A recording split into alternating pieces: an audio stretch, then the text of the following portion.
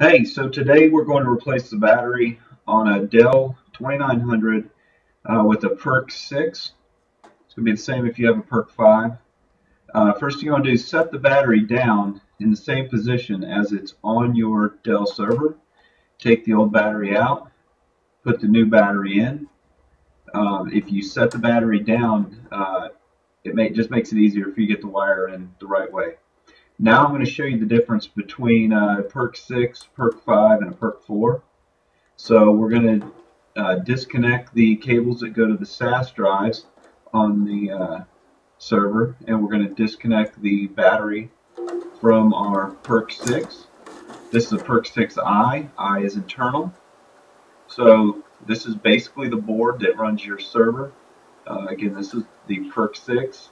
Uh, it's going to look almost um, identical to the PERC 5 and uh, except for the memory.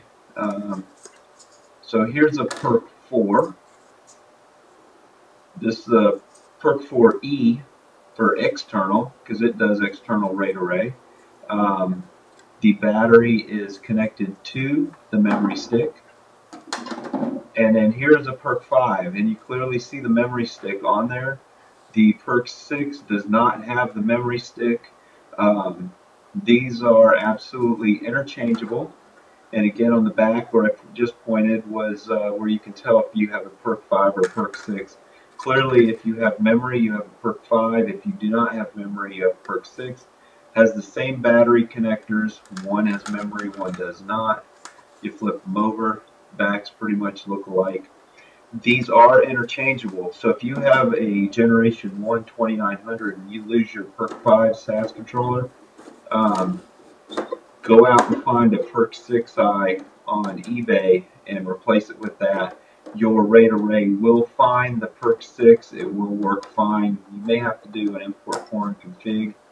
Um, but the uh, a server with a PERC 5 can be upgraded to a PERC 6 without any problems and make sure you get your um, firmware drivers updated. Thanks for watching my video.